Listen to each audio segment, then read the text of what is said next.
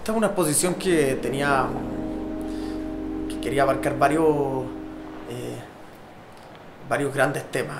Eh, o sea, yo quería hablar personalmente de, de la muerte, de- de- de- de- del erotismo, de, de la relación, de, la relación del, de lo con, eh, con cierto tipo de, imágenes y de símbolos de,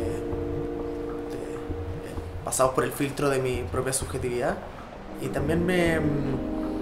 también de hablar de lo, de, lo ominoso, de lo.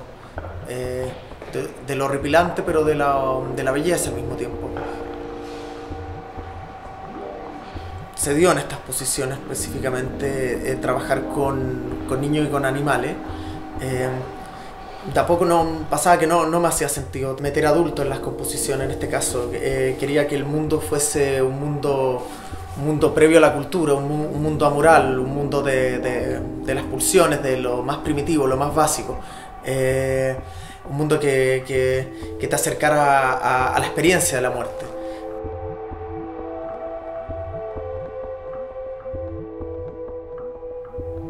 Muchas veces me han preguntado por, por, por la niña que pintó o...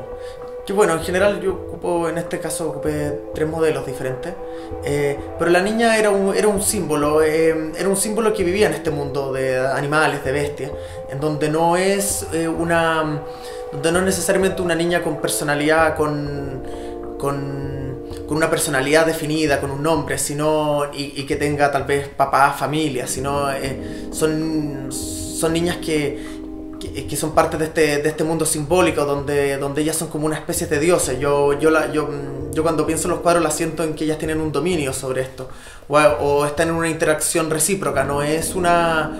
eh, siento que tal vez mucha gente se siente que están siendo pasadas a llevar o, o, o- o tienen miedo o algo así, no si bien muchas veces la, propia belleza la niña es transgredida por la, violencia de los cuadros, eh, eso creo que es un punto de tensión que me, que, me interesa, eh, la, irrupción de la violencia, cómo, cómo, cómo transgrede un, un- momento de equilibrio, lo- lo- los quiebres que se van dando.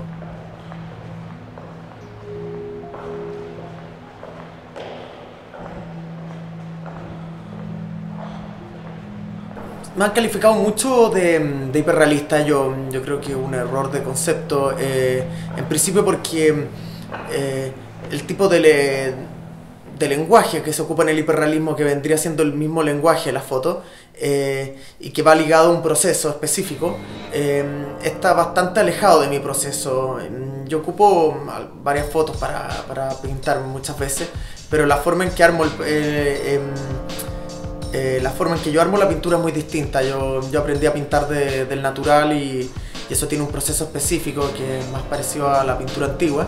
Y en donde se arma un tipo de atmósfera, donde se va eh, trabajando con la pintura de cierta forma y, y y que genera un tipo de estética.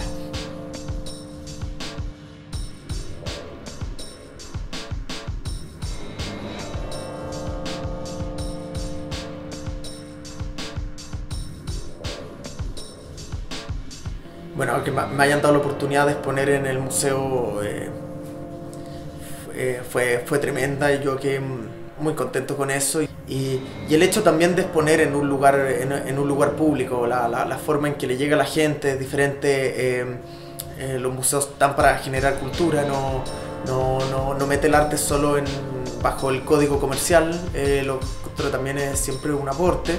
eh, y, y también me, ha llamado la atención eh, todo el público que fue. Eso, eso fue muy notable y, me dejó muy contento y muy agradecido.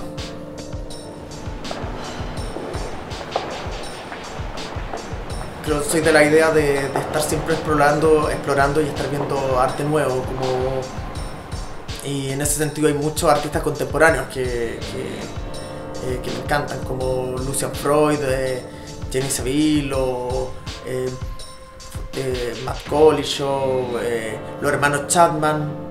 Habría que decir que los John British Artists, eh, eh, gran parte de ellos, otros que fueron un, gran aporte, el, mismo Damien Hirst, o incluso también siempre estar viendo cineastas o distintas cosas, eh, cosas propias de la cultura pop, instalaciones.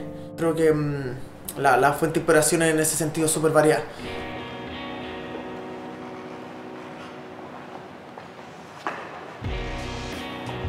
Bueno, después de las exposiciones siempre se, se viene un vacío, eh, ya que como que vacía gran parte de, mi creatividad en, eh, en, esta última exposición.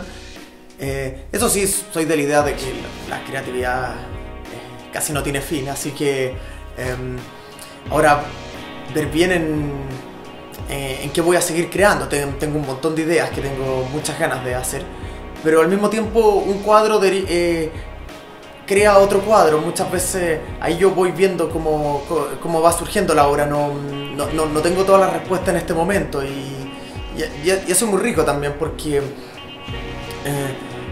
eh, me produce toda una excitación de, y una expectativa de saber qué, qué va a pasar en el futuro, qué, cuáles van a ser las nuevas obras, el, si ciertas imágenes que tengo en la cabeza, cómo finalmente van a pasar a la tela. Eh, estoy con, muchas ganas de, de, de verlo, ya.